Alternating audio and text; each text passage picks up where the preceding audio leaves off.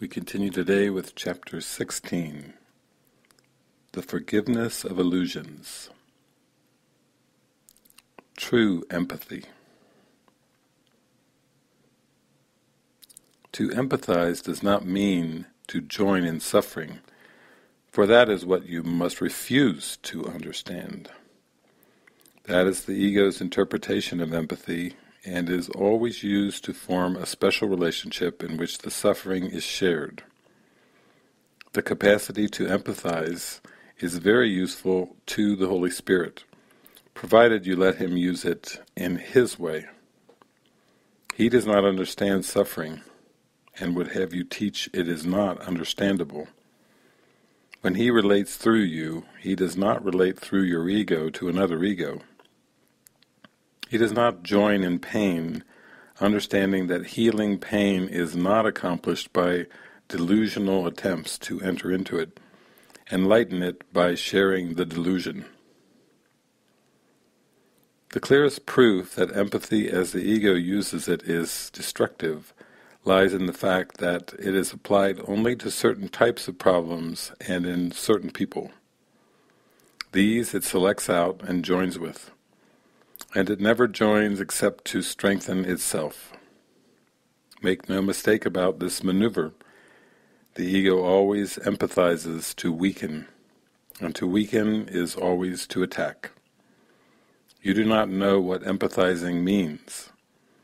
Yet of this you may be sure, if you will merely sit quietly by and let the Holy Spirit relate through you, you will empathize with strength, and will gain in strength and not in weakness. Your part is only to remember this. You do not want anything you value to come of a relationship. You choose neither to hurt it nor to heal it in your own way. You do not know what healing is. All you have learned of empathy is from the past. There is nothing from the past that you would share, for there is nothing from the past that you would keep. Do not use empathy to make the past real, and so perpetuate it. Step gently aside and let healing be done for you. Keep but one thought in mind, and do not lose sight of it, however tempted you may be to judge any situation and to determine your response by judging it. Focus your mind only on this. I am not alone, and I would not intrude the past upon my guest. I have invited him, and he is here. I need do nothing except not to interfere.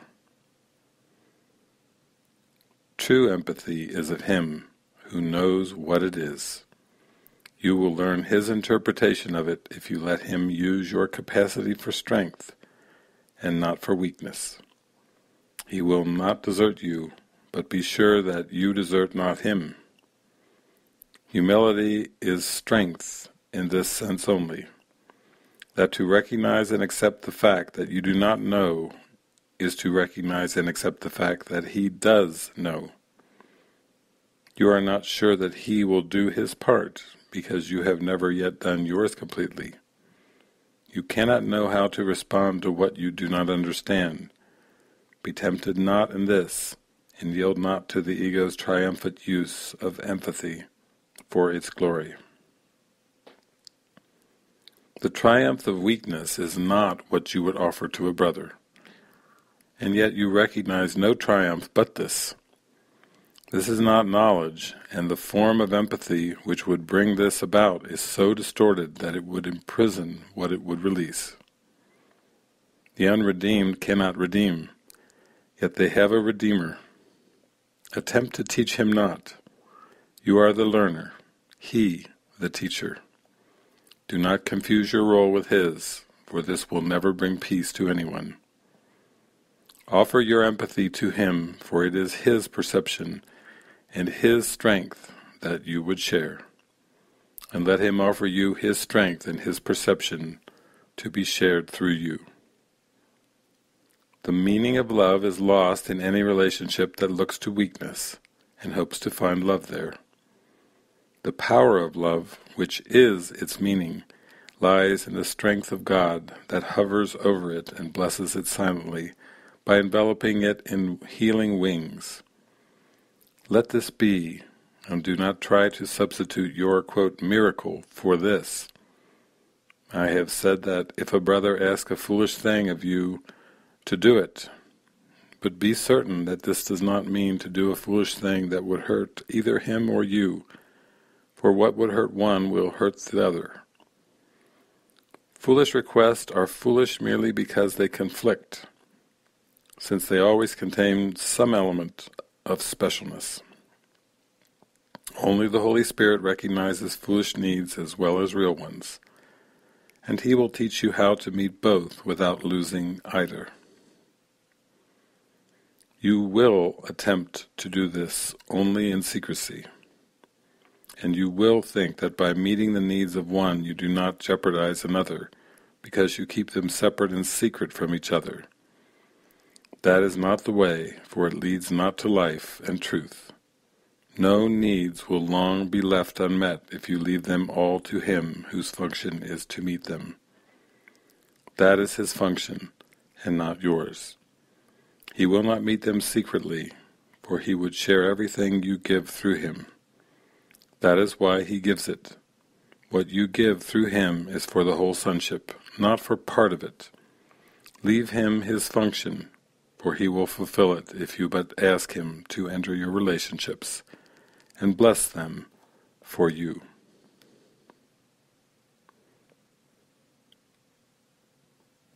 And from the workbook, lesson number 126. All that I give is given to myself. Today's idea, completely alien to the ego and the thinking of the world is crucial to the thought reversal that this course will bring about. If you believed this statement, there would be no problem in complete forgiveness, certainty of goal, and sure direction. You would understand the means by which salvation comes to you and would not hesitate to use it now. Let us consider what you do believe in place of this idea.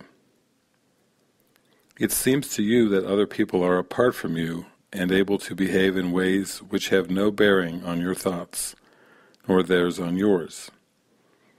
Therefore your attitudes have no effect on them, and their appeals for help are not in any way related to your own. You further think that they can sin without affecting your perception of yourself, while you can judge their sin and yet remain apart from condemnation and at peace. When you, quote, forgive a sin, there is no gain to you directly. You give charity to one unworthy merely to point out that you are better on a higher plane than he whom you forgive. He has not earned your charitable tolerance, which you bestow on one unworthy of the gift, because his sins have lowered him beneath a true equality with you. He has no claim on your forgiveness. It holds out a gift to him, but hardly to yourself. Thus is forgiveness basically unsound, a charitable whim, benevolent yet undeserved, a gift bestowed at times, at other times withheld. Unmerited withholding it is just, nor is it fair that you should suffer when it is withheld. The sin that you forgive is not your own. Someone apart from you committed it, and if you then are gracious unto him by giving him what he does not deserve, the gift is no more yours than was his sin. If this be true, forgiveness has no grounds on which to rest dependably and sure. It is an eccentricity in which you sometimes choose to give indulgently an undeserved reprieve, yet it remains your right to let the sinner not escape the justified repayment for his sin. Think you the Lord of heaven would allow the world's salvation to depend on this? Would not his care for you be small indeed if your salvation rested on a whim? You do not understand forgiveness. As you see it, it is but a check upon overt attack, without requiring correction in your mind. It cannot give you peace as you perceive it. It is not a means for your release from what you see in someone other than yourself. It has no power to restore your unity with Him to your awareness. It is not what God intended it to be for you. Not having given Him the gift He asks of you, you cannot recognize His gifts and think He has not given them to you. Yet would He ask you for a gift unless it was for you? Could He be satisfied with empty gestures and evaluate such petty gifts as worthy of His Son? Salvation is a better gift than this, and true forgiveness, as the means by which it is attained, must heal the mind that gives, for giving is receiving. What remains as unreceived has not been given, but what has been given must be must have been given and received. Today we try to understand the truth that giver and receiver are the same.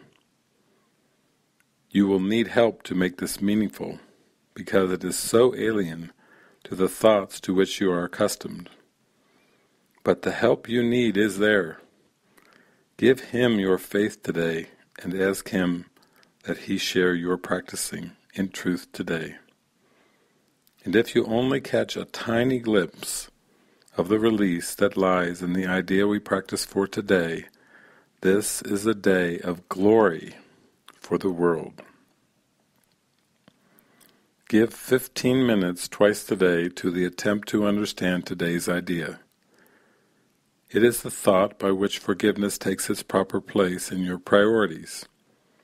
It is the thought that will release your mind from every bar to what forgiveness means, and let you realize its worth to you. In silence, close your eyes upon the world that does not understand forgiveness, and seek sanctuary in the quiet place where thoughts are changed and false beliefs laid by. Repeat today's idea and ask for help in understanding what it really means. Be willing to be taught. Be glad to hear the voice of truth and healing speak to you, and you will understand the words he speaks and recognize he speaks your words to you.